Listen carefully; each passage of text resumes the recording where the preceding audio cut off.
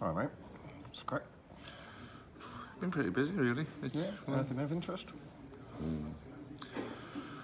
yeah, this uh, this new thing called uh. What's that?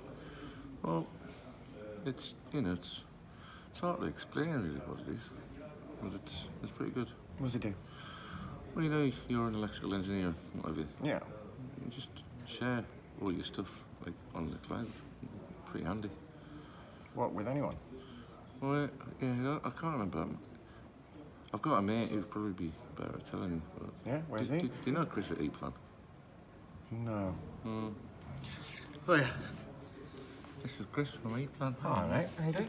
yeah, not too bad yet. Just been telling me about this ePULSE. Yeah, it's pretty impressive. What's it going to do for me? So it's basically a cloud-based platform which uh, we're developing. At the minute, we've only got a viewer package on there, but Yeah. we're looking to get the entire product suite redeveloped. And uh, it will basically allow you to have all of your applications, all of your data, any place, Yeah, any time, on any device available to anyone. So yeah, it's, Where can I it's get that pretty from? amazing. I've got it on my phone.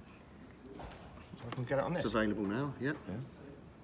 Pretty good. Ah, sort it out. Anyway, I'll see you both soon. Cheers, Chris. Thank you.